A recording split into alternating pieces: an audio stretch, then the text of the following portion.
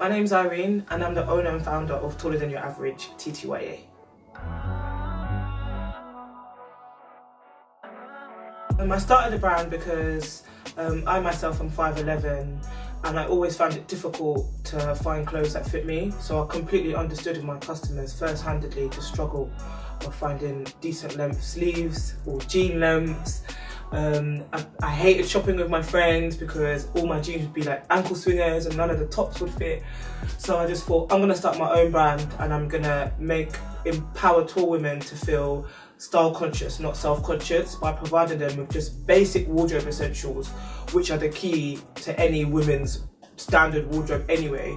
So I just felt like why should we feel left out and why shouldn't we be able to have these staples? So basically just made my own and it kind of took off from there really.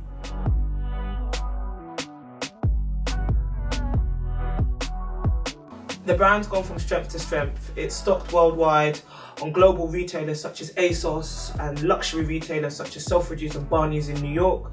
Um, we've had a massive celebrity following um, with supermodels from Jourdan Dunn to Karlie Kloss. So it's been really great for the brand, but what's most important for me is the everyday woman the woman who gets up, who's on her way to work, who just needs a long sleeve top to throw on or a shirt to throw on or some jeans that are not going to be ankle swingers. Those are the customers that I really live for.